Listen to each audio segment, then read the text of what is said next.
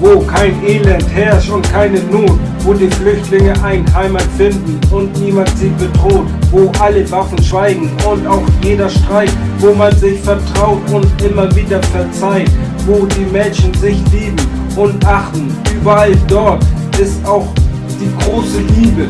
Ich brauche keine Gewalt.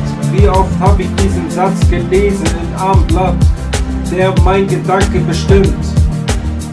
Damals, als mein Leben traf, ein paar Minuten, jede Sekunde meine Zukunft zerstört, jeder kleine Fetzen an schönen Erinnerungen ausgelöst, jeder Gefühl das Liebe.